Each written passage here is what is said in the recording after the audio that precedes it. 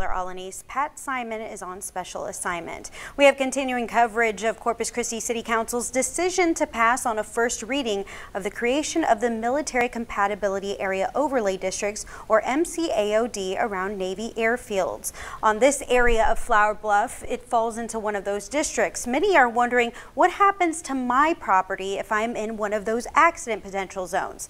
Our Ron Hammy sat down with Development Services to get more clarity on what the future may hold.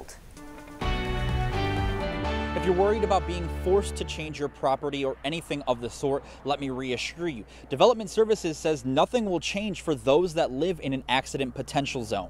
It, this basically ensures that there's compatible development around these installations today, tomorrow, and really on into the future. Director of Development Services Al Raymond says the focus of the MCAOD is on future development. There are 3,500 properties impacted by this, but eyes are on the undeveloped plots, like the ones around Waldron Field. 117 are vacant, which means those are the ones we're worried which direction could they develop.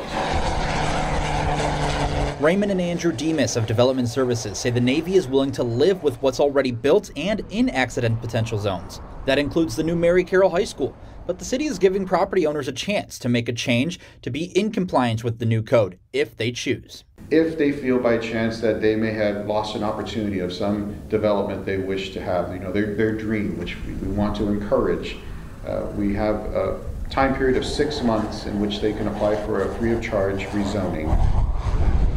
The city has taken these steps to protect a city asset, the Navy. According to the governor's office, having the base here provides over $4 billion to the economy each year. Raymond says it's important to have the MCAOD in place because growth will continue to happen, but also the Navy's overlay districts could change because they are looked at every 10 years